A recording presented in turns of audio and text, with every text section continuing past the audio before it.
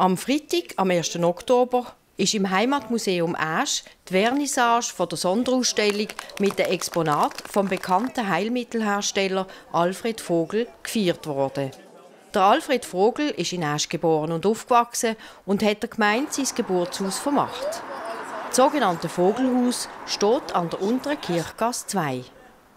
1902 ist er geboren in einem ganz kleinen Häuschen und bei einem ganz einfachen Elternhaus.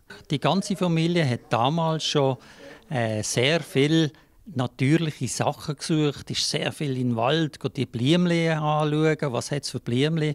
Und sie haben eigentlich der Alfred Vogel eigentlich darauf geklopft, dass er auch in den Stapfen soll treten Zu Ehren vom berühmten Naturheilpraktiker hat das Heimatmuseum die bereits bestehende Ausstellung ausgearbeitet und erweitert. Wir haben uns entschieden, der Ecke vom Alfred Vogel, wo schon früher ein Museum war, dass man den will, werden neu gestalten und zwar im Sinn vom Alfred Vogel.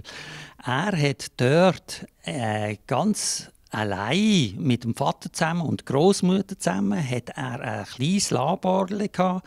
Das hat er im Estrich gehabt, hat Sachen dort äh, und hat dann die untersucht, was kann er mit dem machen, wo hat er Erfolg. Vielmal hat er es an sich selber ausprobiert oder an den Eltern oder Großeltern und äh, hat immer wieder tüftelt und ist dort in dem Labortisch, wo wir jetzt nachgemacht haben.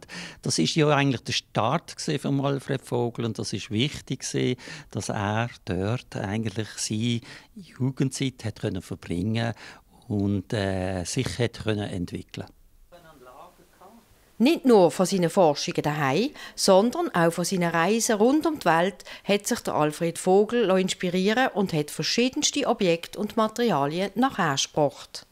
Ich habe dann gewusst, dass wir im Estrich oben noch Haufen Material haben, zehn Kisten voll, und habe gedacht, wieso kann man die nicht auch ausstellen in einer Sonderausstellung? Und dann bin ich angegangen und habe das alles untersucht, woher ist das? Mich hat das wirklich interessiert. Wo ist er denn überall gesehen? Und habe dann eine Landkarte, eine Weltkarte genommen und äh, die Souvenirs, die er bekommen hat oder gekauft hat, oder die Geschenke, die er bekommen hat von diesen Leuten, die hat er äh, die habe ich dann äh, angeschrieben und überall dort einen Punkt gemacht, wo er die bekommen hat. Und so zeigt es mir, kann ich erzählen, wo sind seine Schwerpunkte waren.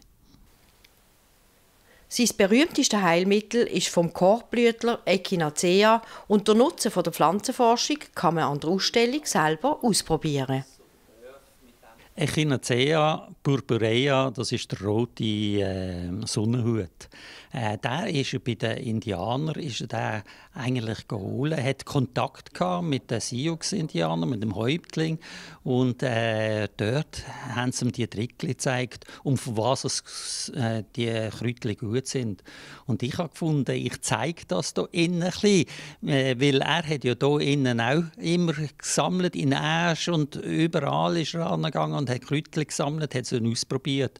Und ich habe es eigentlich ihm nachgemacht und habe gesagt, ich suche jetzt auch hier in der Umgebung, suche ich, was sind für Kräutchen aktuell und habe die aufgestellt und äh, habe im Buch nachgelesen vom Alfred Vogel. Er ist sehr, sehr viel hat er festgehalten in Büchern und so weiter und äh, ich habe das dann so gemacht, äh, aufgestellt, dass man kann probieren, dass man es kann verreiben, dass man kann schmecken und dann feststellen, was könnte das sein.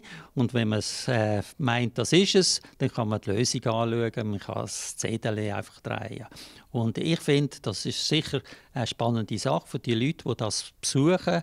Äh, die können mit dem ein etwas anfangen. Und hinten dran steht dann, für was es ist.